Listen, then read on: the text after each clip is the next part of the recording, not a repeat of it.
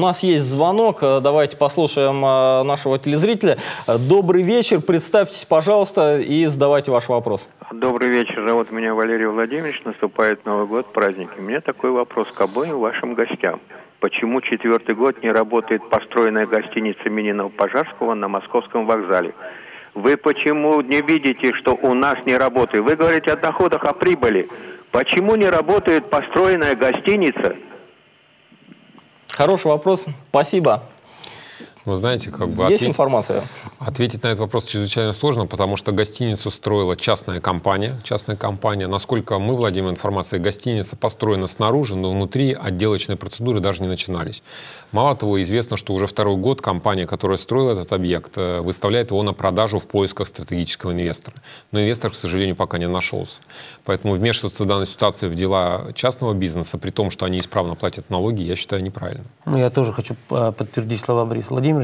Власть не имеет права вмешиваться да, в деятельность хозяйствующего субъекта. Власть создает условия для э, работы бизнеса. В данном случае мы хотели помочь вот собственным владельцам. У нас даже был план переезда некоторых структурных подразделений да, мэрии в это, в это здание. Да, то есть э, мы понимаем, что, видимо, бизнесменам, которые построили, та фирма, э, вот коробку, не, не снабдив ее э, внутренним убранством, да, не доделав ее, э, кризис коснулся и их. И поэтому, когда они обратились э, за помощью к власти, власть рассматривала возможность, повторюсь, перевода в это помещение структурных подразделений мэрии, переезда, вот то, что мы говорили, да, из центральной части города в спальные районы. Но, к сожалению, цена, которую, которую оценивается данное здание, слишком высока.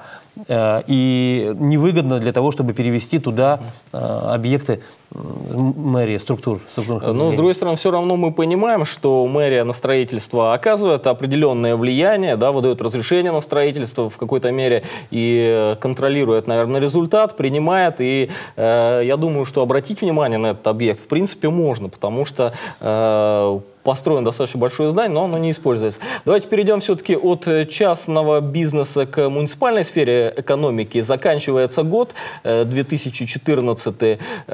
Э, э, этот год э, муниципальный сектор экономики, муниципальные наши предприятия, акционерные общества, в которых город владеет 100% пакетом акций или меньшим, жили в новых условиях, потому что в советы директоров, э, в состав совета директоров входили большую часть года э, большинство депутатов, потом образовались некие паритетные начала. Э, вот на ваш взгляд, такой подход оправдал себя? Вы знаете, я скажу так, что вот практика совместного управления представителями муниципалитета и мэрии, она показала достаточно положительную эффективность управления этими предприятиями и обществами потому что в сравнении с 2013 годом мы на сегодняшний день имеем 15 безубыточных предприятий. Причем по тем предприятиям, которые и были в прошлом году, а их было 11 неубыточных, то есть прибыльных предприятий, по ним, а, соответственно, результат гораздо лучше, чем в прошлом году. То есть ряд предприятий, которые вышли с минимальной прибыли, показали достаточно серьезные результаты в разы превышающие уровень доходов прошлого года.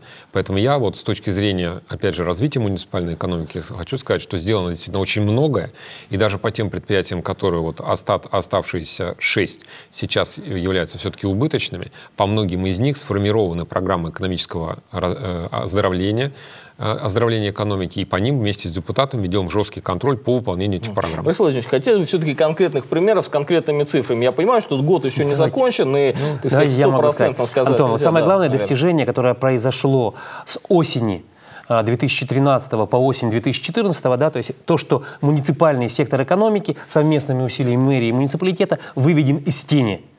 И сегодня нет ни одного а, тайного вопроса, да, касающегося либо муниципального предприятия или акционерного общества. Еще буквально два года назад не, не только что депутаты муниципалитета, да, то есть, а жители вообще не знали, чем занимаются наши МУП акционерные общества, чем они обладают, каким капиталом, да, какими оборотами и вообще, что они приносят для экономики города как такового. Сегодня все открыто, про каждое предприятие, про каждое акционерное общество мы знаем все, наши жители знают все. Ну, результаты такие. Ну, возьму, например, предприятие, которое э, я возглавляю как председатель совета директоров. Ярославль Телесеть. Да? Если показатель 2013 года, то есть результаты э, хозяйствования прошлой командой, да, то есть привели данное предприятие на 1 декабря 2014 года там, э, минус 14 минус 5 миллионов 800 тысяч рублей, то есть предприятие фактически потерпело убытки огромные, то проведенная нами э, реструктуризация деятельности э, и улучшение качества работы привело на сегодняшний день к показателям 26 миллионов рублей чистой прибыли за 9 месяцев работы. И еще э, в третьем квартале мы планируем заработать еще немного денег. И уже сегодня мы с вами, как члены Совета директоров, проголосовали за перечисление половины прибыли, то есть 13 миллионов рублей в бюджет города Ярославля. То есть за 9 месяцев. То есть такого никогда не было. Такое предприятие, как Ярославль заказчик, на сегодняшний день, а, по итогам, опять же, 9 месяцев, показывает результат 40 миллионов рублей прибыли. И сегодня мы говорим о том, что, э, скорее всего, это предприятие перечислит 20 миллионов рублей прибыли в бюджет. А, в разы улучшило свои, свои показатели центральный рынок. Да? То есть мы сегодня говорим уже да. тоже о 40 да, миллионах да. рублей прибыли, полученной данным предприятием. Меня И так водоканал по каждому. интересует. Э, скажем так, э, мы помним, что предыдущим мэром скажем, Э, может быть, уже, так сказать, позапрошлым мэром Виктором Волончунасом э, предлагалось чуть ли не продать водоканал. Вот э, сейчас, по итогам 2014 года, какие результаты у нас есть? Ну, по итогам 2014 года мы планируем, что предприятие будет в прибыли. Прибыль будет небольшая, но она будет исчисляться в, в порядка в десятки миллионов рублей. Точную цифру я не назову, потому что год еще не завершен. А, немаловажным фактором развития водоканала является то, что э, водоканал сейчас фактически э, представляет собой точку развития, точку развития для города в целом. Потому что это стратегический актив, это системы коммунальной инфраструктуры, которые используются практически всеми застройщиками, всеми организациями, реализующими инвестиционные проекты на территории города. Сегодня речь о продаже, о сдаче в концессию водоканала, как я понимаю, уже не идет? Нет, наоборот, как бы мы вместе с областью, с регионом э, стараемся сейчас попасть в федеральные программы, которые э, позволяют привлекать федеральные ресурсы для формирования перспективной, раз, перспективной схемы развития э, коммунальной инфраструктуры. И, соответственно, работаем здесь вместе область, с областью, еще раз повторюсь. Я думаю, что в следующем году мы в одну из таких федеральных программ войдем. Да, на сегодняшний день водоканалу поручено разработать новую схему водоснабжения города Ярославля. Сейчас вот э, таким тормозом э, для водоканала является вот это вопрос по станции воздвижения. Да? То есть, если вы помните, угу. у нас э, мы хотели создать станцию, потом вложили туда очень много денег, да, и сегодня а, очень много денег тратится на охрану, вот, на и охрану и содержание, да. Поэтому мы параллельно решаем очень много вопросов. Но действительно деятельность водоканала за 2013 год, вот за 2014, я бы сказал так, за конец 13 начало 14 резко улучшилась. И показатели очень, очень хорошие. А что такое все-таки произошло с 11 предприятий э, в прибыли, в достаточно неплохой 15. прибыли? Э, Э, что произошло? Стали лучше управлять, стали меньше воровать? Вот ваше мнение какое? Ну, практически по тем предприятиям, которые вышли у нас в плюс, действительно произошла прежде всего смена руководства. Прежде всего смена руководства, несомненно. И мы изменили, скажем так, саму схему управления, когда мы ежеквартально заслушиваем отчеты, принимаем гибкие оперативные вмешательства в действия руководства, то есть помогаем руководству выравнивать ситуацию. Это, несомненно, очень сильно повлияло, но по-другому в этой ситуации было нельзя. Антон, главное, что произошло, это сменились приоритеты. Если раньше муниципальные предприятия, акционерные общества э, последние годы работали ради э, собственной работы, да, то есть обеспечивали собственную дальнейшую деятельность, то теперь совместно муницип... депутаты муниципалитета и исполнительная власть поставила совершенно другую задачу.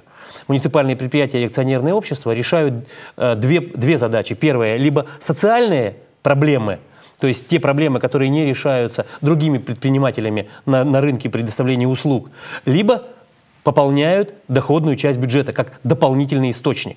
Раньше же такого не было. Раньше предприятие работало ради того, чтобы ну, работать ради себя, функцию. внутри себя. Ну и мы видим сами, эти подходы даже до сих пор во многом-то и сохранились. Мы их переламываем, да, то есть мы переламываем, мы говорим о том, что это предприятие и создано властью для того, чтобы, повторюсь, либо решить социально значимые проблемы, либо как источник дополнительных доходов. Если эти два условия не выполняются, или одно из них, то данное предприятие должно быть реализовано, приватизировано, да, то есть и продано городскими властями и работать на свободном рынке. То есть, повторюсь, либо социально значимые э, услуги, которые либо дешевле намного, либо никто не выполняет, либо очень хорошая прибыль как дополнительный источник. В другом случае я за то, чтобы э, все продать.